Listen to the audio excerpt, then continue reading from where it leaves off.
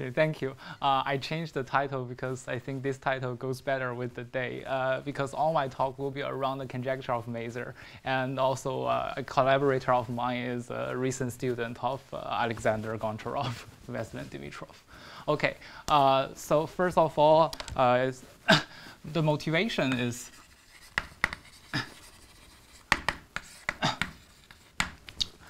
let's start with Faltings' theorem. Uh, in, in my whole talk, I'll fix G to be a number uh, to be an integer at least two, and C is a smooth projective irreducible curve defined over Q bar. The motivation is uh, first, Faltings proved in 1983 that if C has genus has genus at least two defined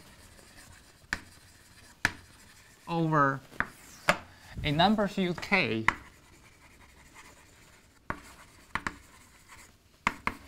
of degree D, then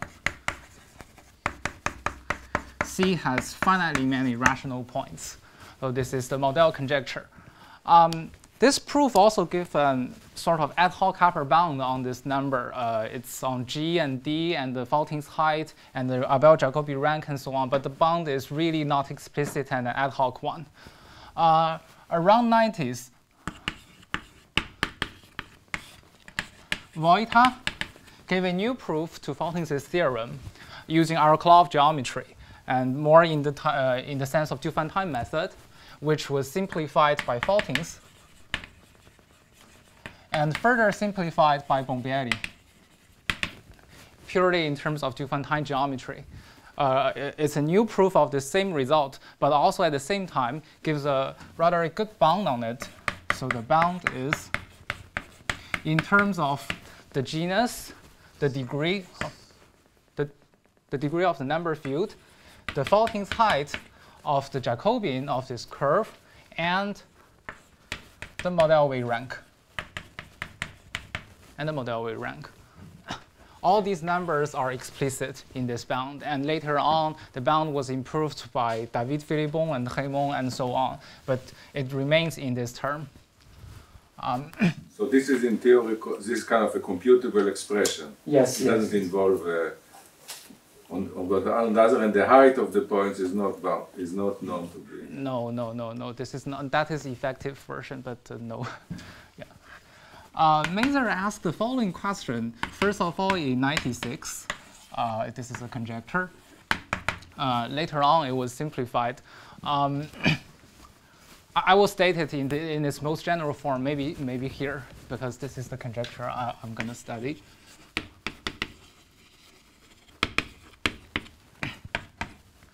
Let's take any algebraic point P naught in C, in C and let's consider the Abel-Jacobi embedding via this point. We take any finite rank subgroup of JQ bar, say of rank R, Then we hope that the cardinality of the following points, the points on C intersect this finite rank subgroup. It has a sort of not really uniform, but it is not uniform only in terms of the rank.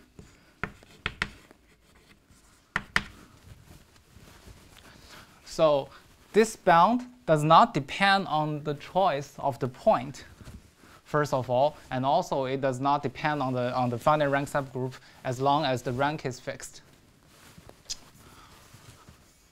This was the original conjecture. Uh, this was the original conjecture made by Mazur. Afterwards, there was some simplified version. Uh, I'll, I'll talk about some. and my main result today is This is a forthcoming paper with uh, Vesselin Dimitrov and Philipp Habegger, is that we can prove this inequality for large curves. Large in the sense that for any fixed g, there exists a number depending only on g, such that as long as the height of the curve is larger than delta, then this inequality holds. Yeah, height of the Jacobian or the curve. Some, some, some people also define it as the curve, as the height of the curve. Um, this um,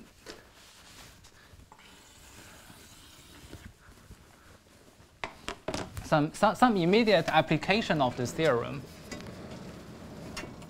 First of all, particular cases.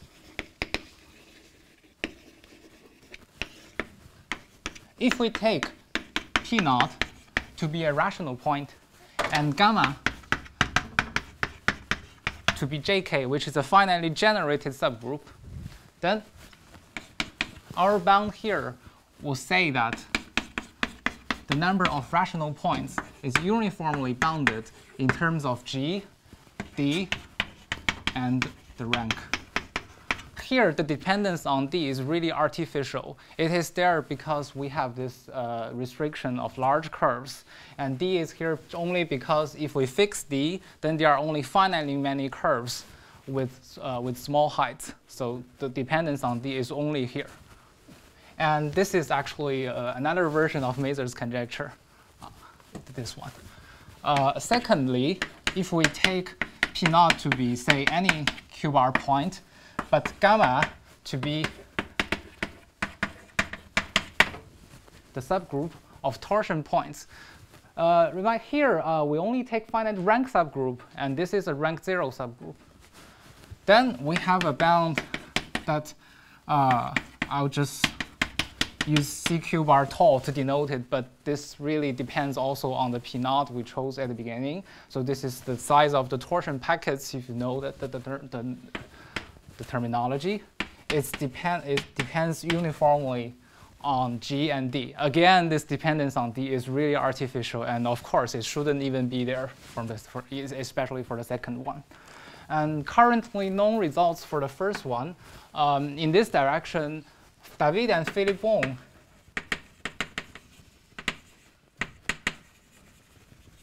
proved it for uh, the case when J is a subvariety of copies of, of copies of the semi-elliptic curve. And they also find some examples, David Nakamaye and Philippon also produced some examples of families uh, satisfying this. Um, and for the second one, there's a recent paper of Holy uh, Laura DeMarco and Ye. They prove this for G equals 2 bielliptic, but their result is, uh, is stronger than ours in this case because they have no dependence on D.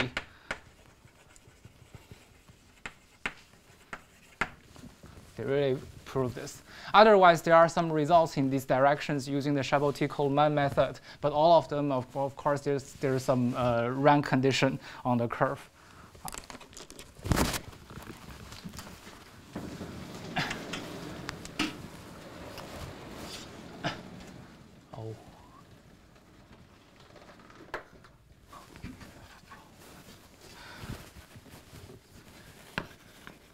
Okay, now let me quickly go through the method of Bombieri, Faltings, and Vojta to see some, some input we need.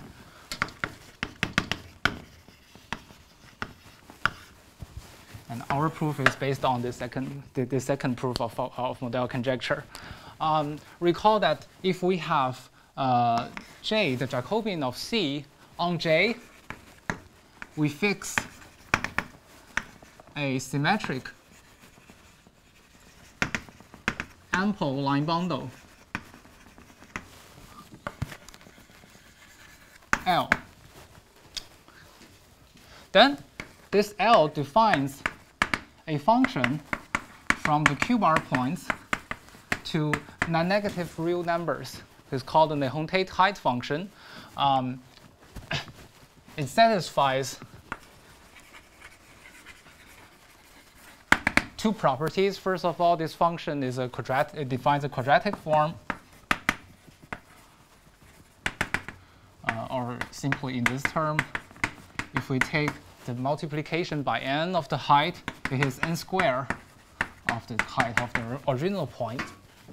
And secondly, it vanishes precisely on the torsion points. On the torsion points. Now, if we want to fix our finite rank subgroup gamma in JQ bar, we can always do a map from gamma to gamma tensor R, gamma to gamma tensor R. And here in this step, this is almost injective, ex except that we lose all the information for the torsion. But here, we also lose all the information for the, for the torsion. So actually, in terms of the height function and this gamma mapping to gamma tensor R, actually, we're losing the same kind of information, so we can use it to study this. Um, and it is known that, first of all, this is just uh, RR, and HL hat square root defines a norm on it.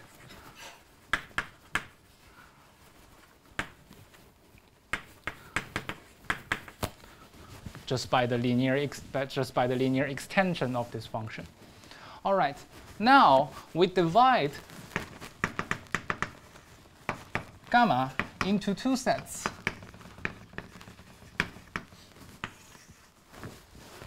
For this, for simplicity, I'll just present a case where gamma is finally generated. For example, the rational point case, just for simplicity. Gamma finally generated.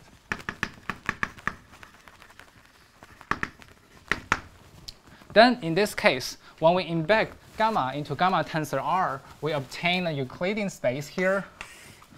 And um, gamma will become a lattice in this Euclidean space, normal Euclidean space. And the division and Bombieri, Faltings, Vojta in their method, they divided the points in gamma into, into two sets, the set, which we call the set of small points and large points, in the following way. They found a C0, I'll explain later this, this number, and divide it into small points, which are the points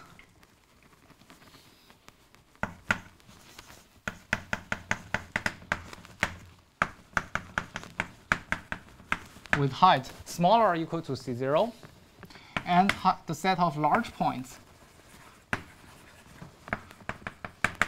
So you may guess is the points with height larger than this number. Okay, now we have, say this is the origin, say this is the origin, and C0 is here, the radius. Now, the set of small points is here, the set of large points is outside this ball. Well, for Mordell, it is immediate that the set, the set of small points is a finite set.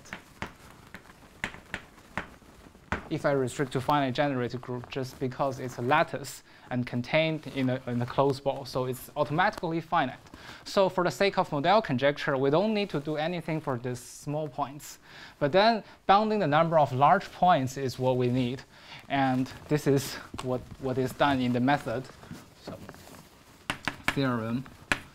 This is uh, Vojta, Faltings, Bombieri, and then it was later on strengthened by David Philippon and Rémond.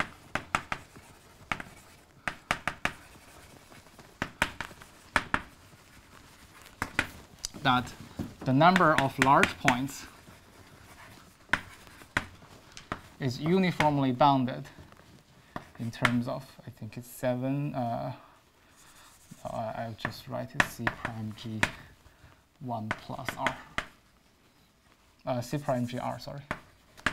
The number of large points is, is already uh, uniformly bounded. Actually, this number is G times 7 to the power of R, but yeah, let, let me state it in this way. Every, every term is. And uh, David Philippon and Rémond, they also proved this result for uh, finitely rank, finite rank subgroup. So that this part it actually works also for finite rank subgroup. And they prove it using uh, the Mumford gap principle.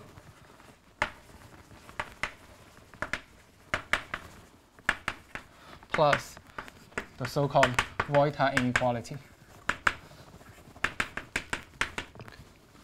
So this is uh, a review of the Bombieri-Faltings Vojta method. It tells us that now, in order to study Mazur's conjecture, we only need to study the set of small points, which for Mordell is the automatic thing, but now it's the hard thing.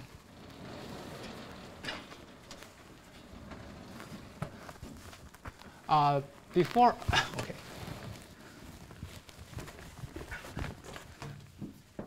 And they found this C naught. So fact. The property of C naught is that it is linearly in terms of the Faltings height of the Jacobian. This is how they constructed the C naught. The whole point is to find a good C naught such that the, this uh, Vojta inequality holds. All right. Okay. Now we see that we want to study this set of small points with norm with height bounded linearly in terms of the HFJ. And we want to bound the number of these points like uniform, uh, independent of this uh, HFJ. So what we do is, so it suffices to prove the following thing. Small points are far from each other.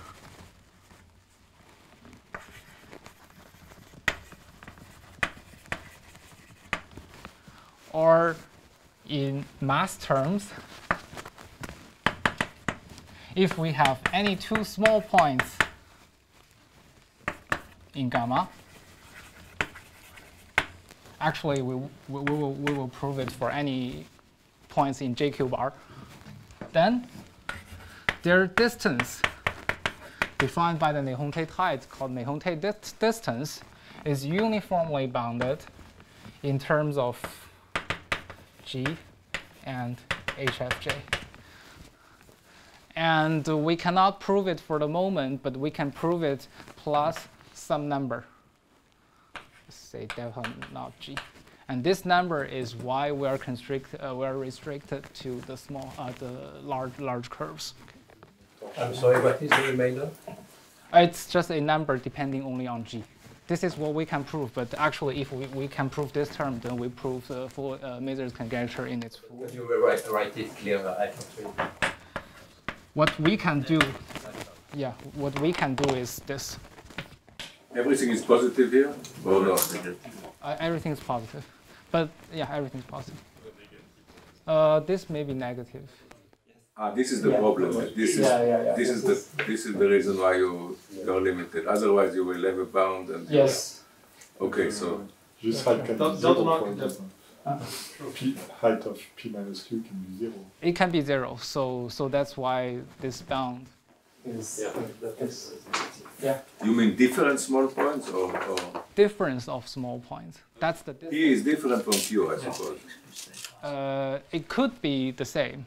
If it's the same, then this is 0 here, and it just says that the height of the curve is small, because this is a negative number, I'm sorry. Yeah. If this is 0 here, then we will have 0 greater or equal to a positive number times HFJ plus a negative number. So that means the, the height HFJ here is small. I, I think you really do want to take different points. Yes. Otherwise, you'd be able to just conclude by taking p equals q that the height must be. Oh yeah. Oh okay. I see. I see. I see your point. Yeah. Sorry. But but yeah. What I want to say probably is that p minus q could be torsion. P minus q could be torsion. Yeah. Thank you. Yeah. Okay. Yeah. But actually, what we prove is not just for gamma, but really for JQ bar with this term. So that we're done. Uh, let me write down exactly what we do we prove the following height inequality. Uh, we prove the following height inequality for one parameter families. Um, this is a theorem. Uh, yeah, in, in my talk, because it's a, it's, a, it's a project, it concerns several papers, so I will, I will make it precise which papers are published, which are preprints and which one is forthcoming. Um, this one is a published one this year. It, uh, it basically shows that this is true for one parameter families. So let S be a curve, again, smooth but not projective curve defined over Q bar, and let A to S be an abelian scheme of relative dimension G.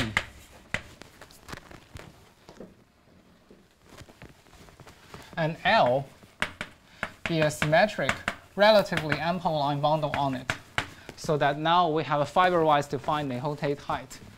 Um, let X be an irreducible subvariety, dominant or not, it doesn't matter. Closed irreducible subvariety. Then, okay, this is the setting. I may want to use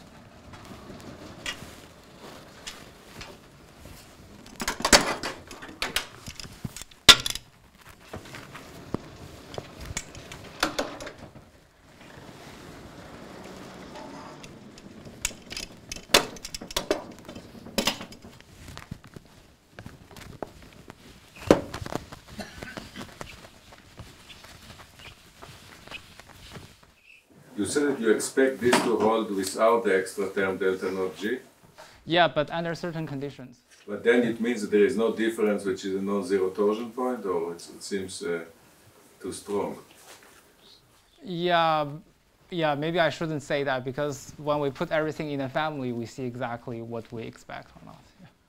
When we put everything in family, we see more clearly what is expected. But here, I want to explain the idea of what should be proved to get this result.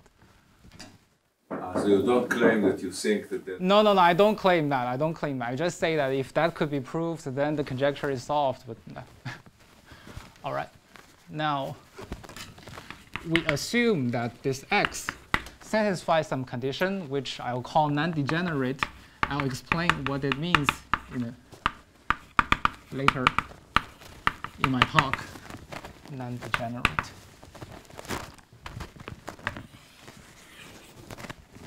Then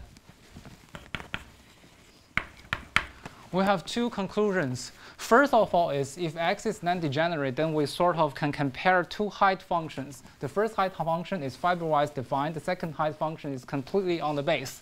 Write it. There exists a number depending only on x, and it's Zariski open, non-empty subset of x such that the following inequality holds. If we consider um,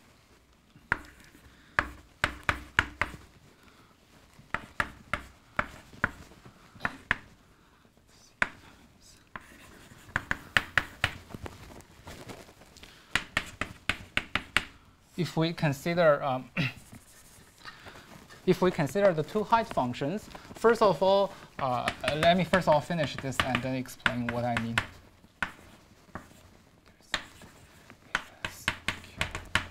Okay.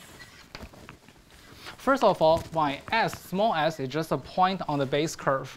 So this function, it means that, it, it actually means HFAS, but I write it in this way to emphasize the fact that this function is completely on the base. It does not really depend on the path fiber. And this point P lies in this Zariski open dense subset, but it's also on the fiber in uh, on the fiber over S. So the, the this this height function is really the fiber-wise defined Néron-Tate height function I talked above, uh, which is above. So the left-hand side is something depending purely on the fiber. The right-hand side is something depending purely on the base. A priori, there's no relation between them. We can't, have we can't expect to have a bound. But here, what we proved is that if we assume, uh, if we restrict to a subvariety satisfying some property, then these two heights can be bounded. And of course, in order to make this useful, we need to, we need to say that what is non-degenerate. Uh, there is an original definition, but it's ad hoc. So here, we also prove that, uh, we also give a criterion of this non-degeneracy. X is degenerate if and only if it's very rigid from geometry. It's simply the translate of an abelian subscheme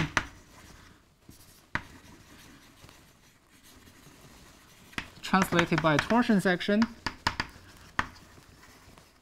then by, uh, I would say, something constant. This means that the abelian scheme may have a constant part, isotrivial part, and then uh, the other part of X is just a, a constant, a, trivial, a trivial product up to a finite covering. So uh, in practice, we prove that in practice we can often check this condition to determine whether X is degenerate or not, and then if it's not, then we can apply this. I'll give you an example. Um, assume that X is uh, dominant over S. Uh, yes, it's better to assume it, but uh, otherwise these these whole things work because this is just one number. Then, yeah, L let me assume this. Yeah, why not? And uh, but it is not necessarily absolutely irreducible. Only irreducible. Absolutely irreducible. Everything is defined over Q bar, so it's absolutely irreducible or irreducible. Ah, no, in the in the total space, but in the yes. general fiber, it is. Uh, oh no, it's not as well. Yeah. So when you add to, uh, this also may not be irreducible. I, I, I say abelian subscheme, but of course I mean up to a finite covering with base change, then it's abelian subscheme. You mean the finite cover of S? Yeah. Ah, so up to a finite cover of S, yes, it's, yes, uh, yes. like, okay. Yeah, yeah, yeah, yeah, yeah, okay, up to a finite covering of S.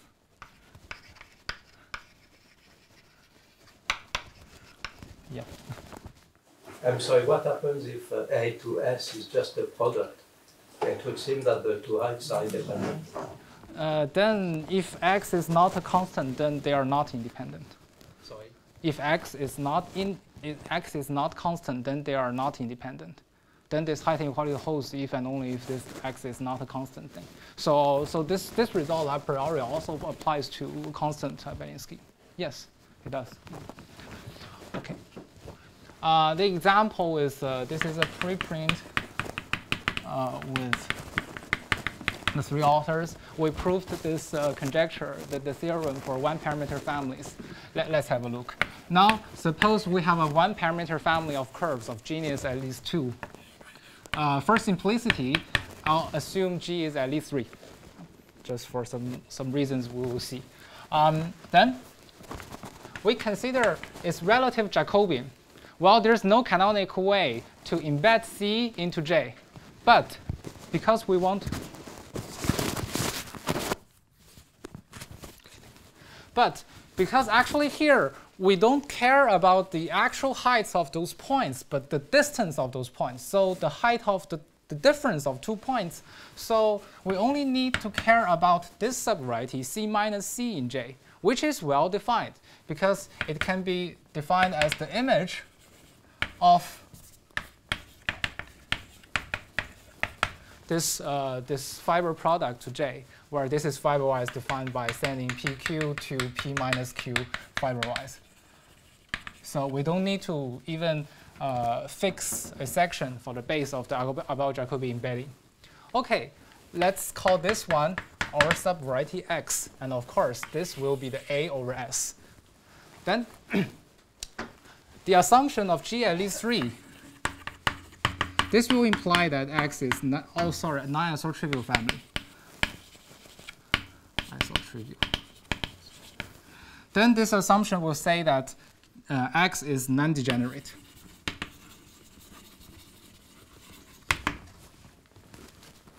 Just by computation by hand, X will be non-degenerate by this geometric criterion. Now we can apply this height inequality. Then if we take two points on the same fiber of, of C over S, it's which are equal to um, this C depending only on X, so S, so C, and so on, um, times the Faltings height of the base point, base point. Of course, for PQ satisfying those conditions. But this is an open condition for the rest uh, points. For the rest of points, we use those packaging arguments. But at least now we see that because this number, it depends only on the family, not each individual fiber. So we can see that now we really have this result. So the height of uh, the, the distance of any two points, algebraic points, are uniformly bounded below linearly in terms of the Faltings height. And this is what we want to prove this. Yes, P is different from Q again. Thank you. So this tells you that if the difference is torsion, then you get still some consequence. Yes, if it's torsion, then the, the, the height of the curve itself is bounded above. And the P and Q are small? No, not small. They are. Then, then the curve is small, say. But you don't say that if there is a small point, the curve is. You should only say if there is a torsion point. the torsion difference of small points, the curve is small. Yeah, well, if, if here P minus Q is a torsion, then the curve is small. Yeah. So that it can be negative, but I mean we, I mean I mean we can take different uh, normalizations to make it positive. There are there are different normalizations because our our. Yeah, but which normalization? Some, something it's some convenience of normalization so that this is positive. Actually, yeah, yeah, in my in my thought, faulting time will always be positive. Yeah. The, the thing is, actually, we, we prove this purely in terms of height machine. So it's okay to hide, to add a to add a number to this, yeah, or one to this height function. And this basically proves the theorem for one parameter families, up to some uh, details for the packaging argument. Okay, now I hope I convinced you that if we can generalize this height inequality for arbitrary families of abelian varieties, then we, we can prove the theorem. And then uh, next comes the generalization. And to do that, I will need to explain what is this non-degenerate. You will see that it comes from geometry. Um, to do this, because we want to solve this conjecture, we can just work with the universal curve. And the, this is the modulus space. This is the universal curve. It does not have a section, but still, it's a universal curve. Uh, here, uh, I'm taking some level structure. And again, I have the universal Jacobian, and I can take this map to construct a CG minus CG inside, inside J, which is well defined, which is well defined. And furthermore, I would like to embed everything in a universal abelian variety using the Torelli, Torelli locus, Torelli embedding to embed it into the modular space of abelian varieties, principally polarized modular space of abelian varieties. And uh, here, this one to curly AG, which is the universal family. So in my talk, I will always work with this system. I have the universal Jacobian, and this is the universal abelian variety.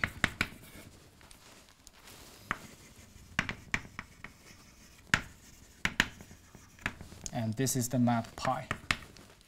I'm sorry, you fix a level structure? Yes, yes. Uh, because uh, actually in my talk everything is for height machine height inequality and so on. So uh, taking a finite covering it's uh, always allowed. It doesn't. Really yes, yes, yes, yes. so this is the object we will work on. and then whatever subvariety we take will be a subvariety of the universal abelian variety, but it may not be dominant. Most of the time, it's not dominant to the base.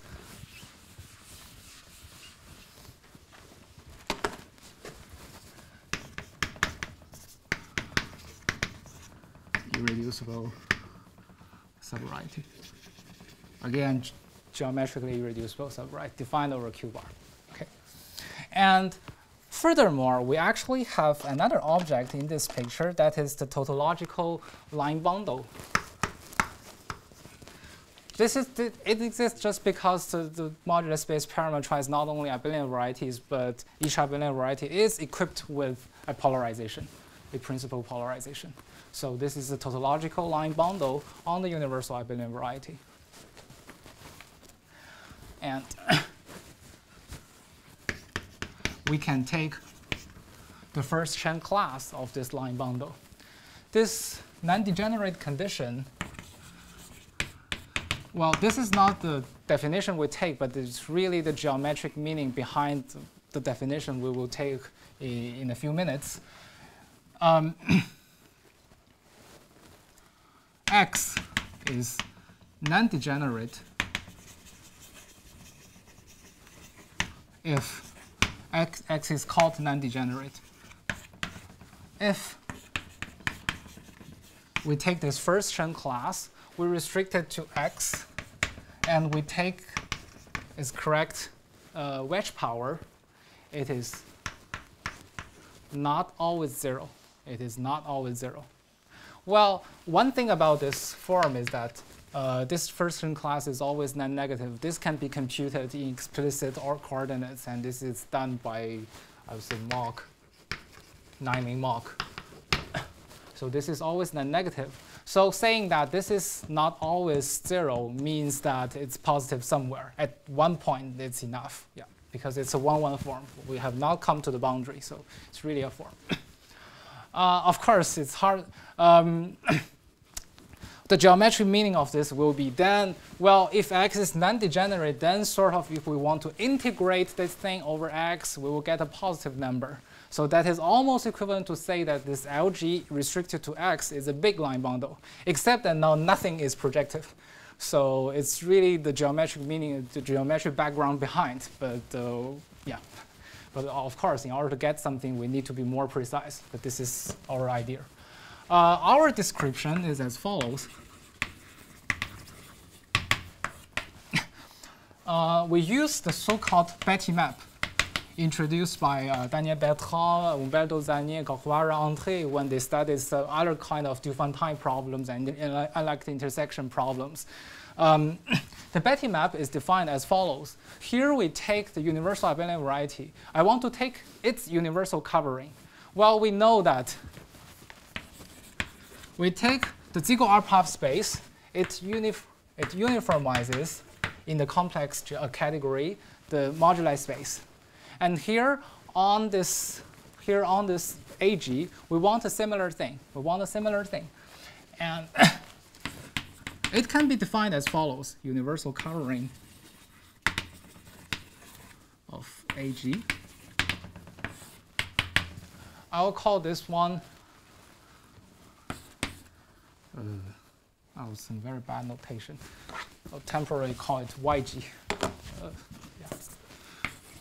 y2g. First of all, it's defined as follows. First, as set or as real algebraic object, it is r to the 2g times the Siegel upper half space. And then we want to give it a complex structure. And the complex structure should uh, encodes the complex structure of every abelian variety over this uh, moduli space. So it is actually given in the following way. Here we take any vector AB both in RG and a uh, matrix, G by G matrix. We send it to A plus CB G and this is, of course, a bijection, and it's also isomorphism as real varieties, real algebraic varieties. But the complex structure should be this one. Then this is the uniform, this is the universal covering. I'll use this one. Now we have Y2G uh, covers AG, which maps to HG plus this is just a trivial product with some twisted complex structure. All right. now, x is in AG. I'll take an irreducible component. Irreducible in the sense of analytic geometry, component of U inverse X, then this is going to be in this uniformizing space. This is going to be in this uniformizing space. And the Betti map is something very, very simple. It's just uh, y2g, when we write it in this way, actually, it projects to the first factor, and the Betti map essentially is the composition. This is the Betti map. Well, this is something very, very simple, but it encodes for example, it, we can really read off this condition completely using this very simple map. So I'll give the actual definition we, we have. X is non-degenerate if and only if, or if, if and only if, this is definition lemma maybe. B, restricted to x tilde, has full rank the generic rank of this map is twice the dimension of x. So this this is because this one-one form it defines a pointwise a uh, symplectic uh, symplectic pairing, and the kernel of this symplectic pairing are precisely the fibers of this map. We, this can be computed explicitly. And then saying that this is non-zero precisely means that uh, there should be no no direction along x not vanishing along some, some positive direction of the fiber. So this is precisely the definition. And also from this new definition, we do know uh, what kind of subvarieties degenerate.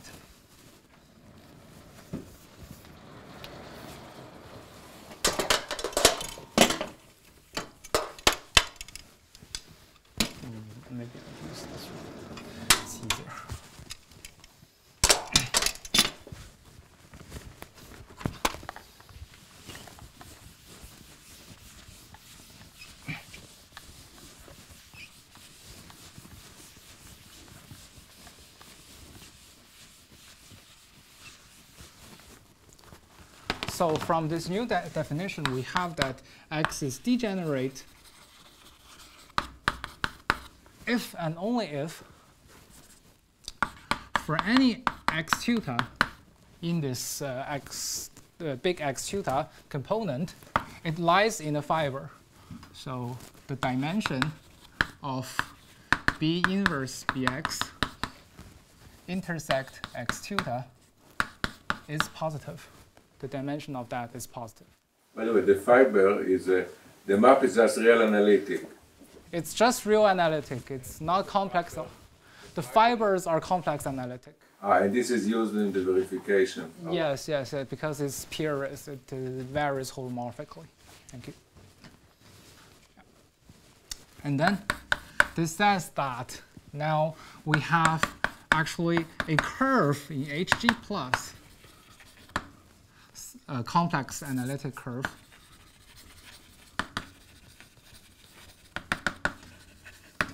such that if we take bx times this curve, this is inside R2g times hg plus, it is contained in x tilde.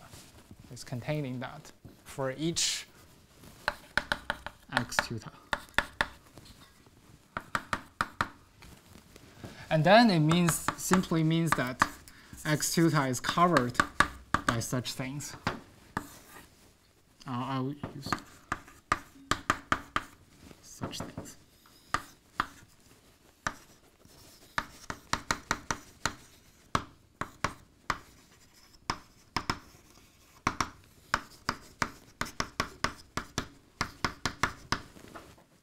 So the C is just a local curve is a yeah, but it's complex analytic. Uh, you can use analytic extension some, somehow.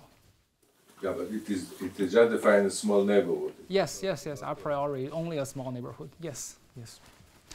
And here, um, I want to say that now then this wholly implies that if X is degenerate, then X is the union of such things.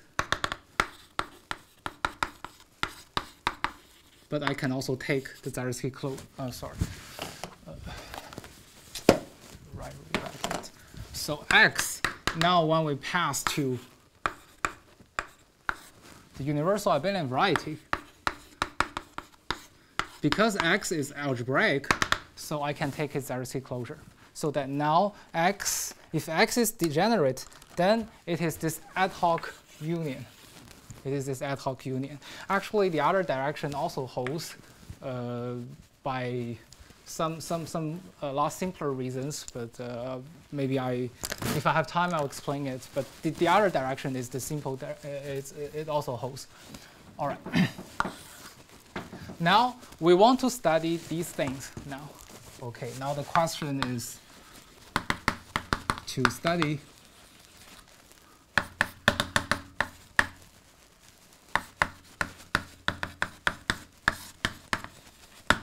These RC closures. What properties should they have? And this is the next part of my talk, maybe number three, functional transcendence.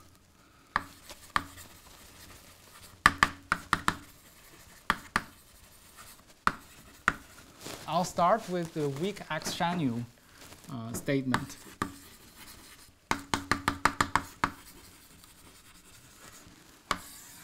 Um, this is a actually a sort of statement. It says the following thing. If we have two varieties, two algebraic varieties, and this is more or less, this is surjection. This is usually the, uh, the uh, uniformizing map linked by a trans, uh, an analytic map so both omega and s are supposed to have some algebraic structure, but Q itself is very far from being algebraic. It's highly transcendental, but it's only analytic.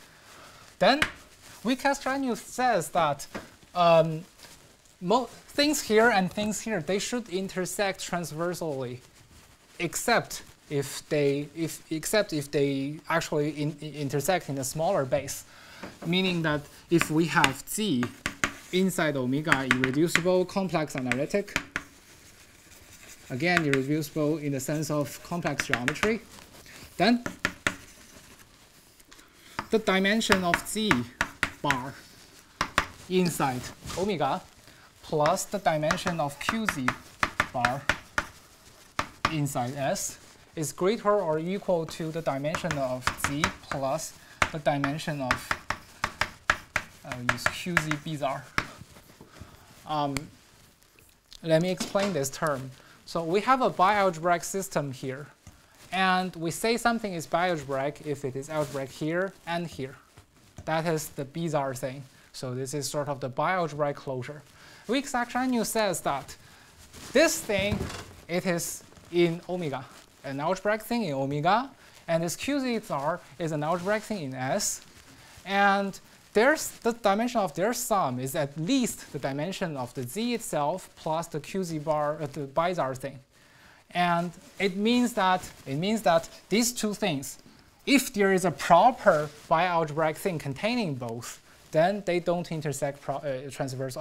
Otherwise, they always intersect transversally. So this says that if we have some sort of unlikely intersection, then there must be a reason. Yeah. And this reason, we can write it down. Um, this is the result we're going to use.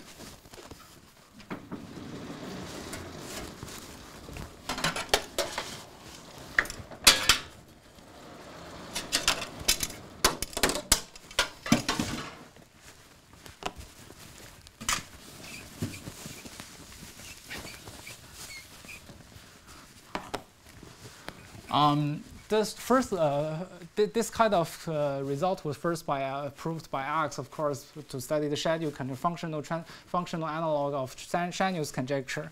But they got interest again by, uh, by, the uh, by the study of the André-Oort conjecture.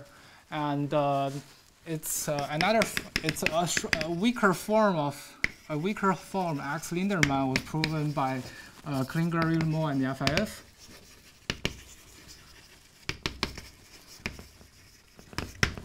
This is for Shimura variety. This is for André-Oort.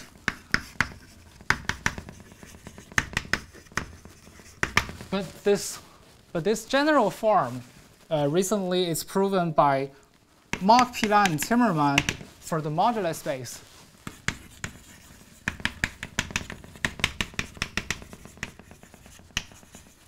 And this paper is published. It has two uh, extensions, two directions of extensions. First direction is by Bakker and Tsimerman. for variation of pure Hodge structures. Uh, this is also published, and this is used in the recent proof of Lawrence Venkatesh proof of Mordell conjecture. Actually, it's used for the high dimensional, uh, high dimensional case. Um, another extension is done by me for this uh, universal abelian variety. It's a mixed Shimura variety. It's not pure anymore, but this is a preprint. And uh, in studying this question, studying this y, it is this form I'll use.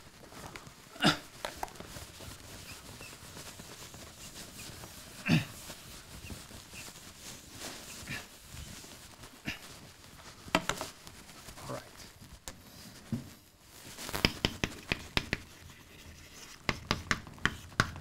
Now to study that y over there, we see what condition it satisfies we apply the weak x nu to here z will be r times c theta. It is also complex analytic, as we said here. And of course, to this system, uh, to the system y2g to ag u. All right. Well, then first of all, the first term is dimension z bar, which is the dimension of r times c theta zar. This is the first term. The second term is precisely y. And the third term is 1. Well, because it's a curve. The third term is 1. And the last term is, it y bizarre. Now, in this inequality, actually, we know many things. This is what we want to know, so we don't need to do any operation on it. This is a number. And this is a bioalgebraic thing. Well, in bioalgebraic geometry, uh, usually these kind of things have very good geometric interpretation, so we don't need to do much about it. So the only thing we need to study is the first term. Well, a first step to do is that this RC closure, although this is not uh, trivial, but it's not very hard, actually certain things commute we can first of all do the Zariski closure of C theta completely in, in Hg and then do this product. They are actually the same. We can, we can show that. Then the equality becomes something purely in the base plus dimension of y is greater or equal to 1 plus dimension y c bar. Okay, now let's study this.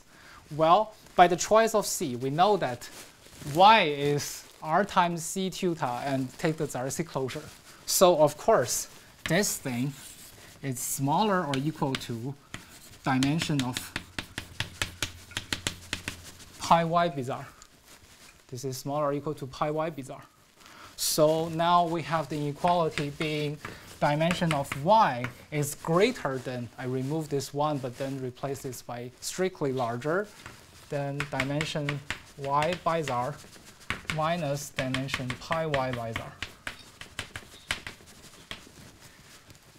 Okay, this is actually the eventual form we want, we want because both things have very good geometric interpretation. I can also tell you what is this difference. This, differ this difference has an even better geometric interpretation. Say here we have our universal abelian variety over the modular space. And this is our pi y bizarre. The y by r is something over that, and it is part of it. This part, it is precisely up to a finite covering, an abelian subscheme translated by a torsion section, then by a constant section or isoconstant section. So in some sense, it is the smallest abelian subscheme containing, uh, containing this y. It is some, some, some, some, some, something like that. So now y is something here. Say this is y. And if we restrict the orange part to the, to the yellow part, then y will be contained in no smaller abelian subscheme in this whole thing. Then dimension y being larger than this difference means that the dimension of y is larger than the relative dimension of this abelian scheme. And if we look at the dimension, uh, if we look at the definition of the Betti map, of course, the rank of the Betti map cannot exceed twice the dimension of the original uh, of the original variety. So that's why, as long as y satisfies this, then of course y is degenerate. And if x is the union of such things, then x must be degenerate. This, this is why I said that the other direction is rather easy to prove. You say it's an abelian subscheme over what? Over a subvariety of AG? Over, yes, over its, over its base. And, and it is plus a section? A torsion section over its base and the constant section over its base. Yeah, now I'm restricted everything in, in, in the base. Yes. The base is fixed. Yes. Yeah. So what is torsion plus? It's translated by torsion section of this restriction and then by a constant section uh, of this restriction. Of course, when I talk about this, I always, I always mean up to a finite covering. So what's the di- so a torsion section will become constant after the finite cover? No. Yes, it is. It is. I, I just want to separate torsion and constant, but otherwise I can say just constant. It's fine. It's fine. yeah, yeah, yeah. But because in studying this mixed Shimura or whatever, this stuff, uh, torsion and constant, they are really very different things. So I, I like to separate them. I like to separate them. One of them is special, the other one is wicked special, and so on. So okay, now using the mixed Ax-Schanuel, uh, we can show that X is really the union of something, that, and still an ad hoc union, but each member of this union have a better interpretation. It satisfies some condition which is more or less standard in Unlike intersection theory. And then next step is really do Unlike intersection. Or maybe like here. So next step, do unlikely intersection theory.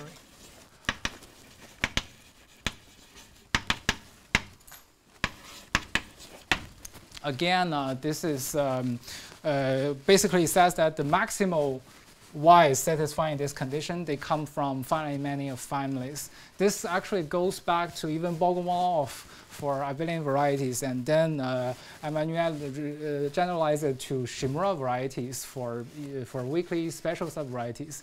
On the other hand, when studying those uh, unlike intersection, the Zilber-Pink conjecture, Daw and Ren, uh, Habegger and Pila introduced this weakly optimal thing, and Daw and Ren proved it for Shimura varieties.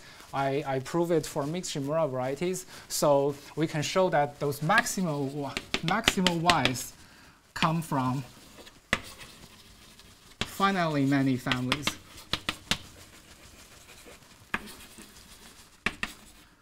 So eventually this ad hoc union becomes a finite union so that it's Zariski, so that for any x, this union will be Zariski closed. And also we, we, can, we can prove a criterion when this Zariski closed subvariety is the whole thing.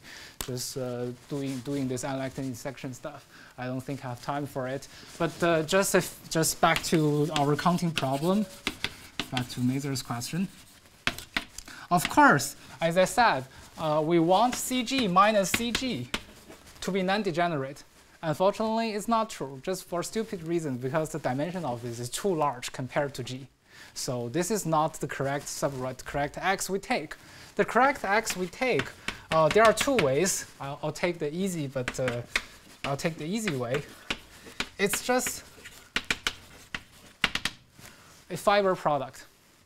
With P's, um, I think here I can write 3, but I really should write 3g minus 2. Okay, for some, for some reasons, for some induction reasons. And of course here I'm, I'm, I'm assuming that g is at least 3. Um, if we take this power to be 3g minus 2, then x is non-degenerate, so that we can prove this height inequality. It says that, okay, we cannot prove that all uh, each algebraic, each two, each pairs of different algebraic points are far from each other, but we can show that around each algebraic point, there are at most 3g minus 2 points which are not far from it. And for the purpose of counting, that suffices. So for each algebraic point, at most 3g minus 2 points uh, close to it. Close means that the distance is uh, smaller than the linear function on the on the Faltings height. Yeah. Then for the purpose of counting, we're done. Just multiply everything by this number, which still is explicit on G. Uh, I think I'll stop here. Thank you.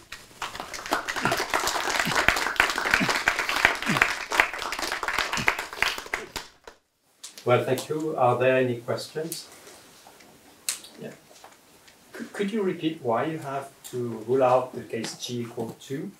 Oh, actually, it's just because when g equals 2, this will be the whole thing. So whatever power you take, fiber power you take, it will still be degenerate. Uh, the, the, the way we... Yeah, yeah, yeah. But the, the, the way we solve this problem, actually this is not the, the actual thing we, we take.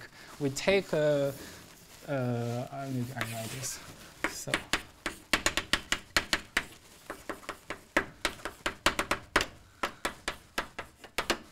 The map we take is, this is k, so this is, this is k. We take is p1 minus p0, pk minus p0 the map we take is actually this one. For this, as long as k is at least 2 or 3, then g equals 2 will, all, will also be solved at the same time. Yeah. For one parameter families, it's almost equivalent to take th this one and this one, doesn't matter. But actually, when we work on this, even for g at least 3, it's simpler to take this one just for the proof. Yeah.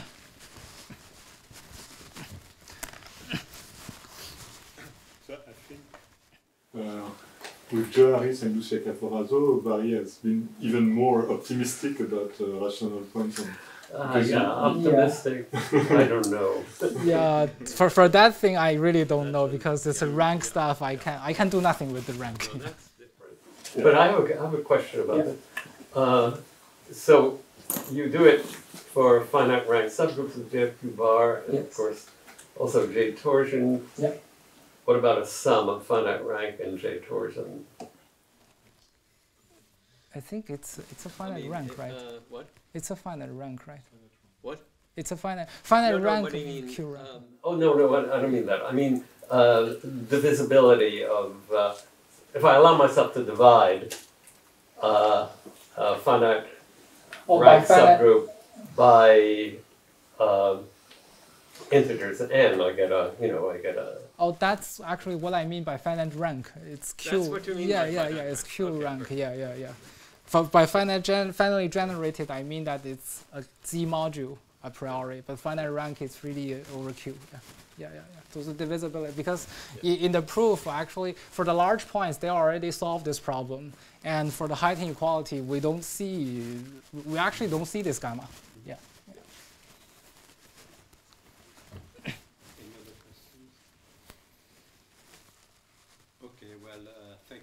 Remember, we start again in 10 minutes. Thank you.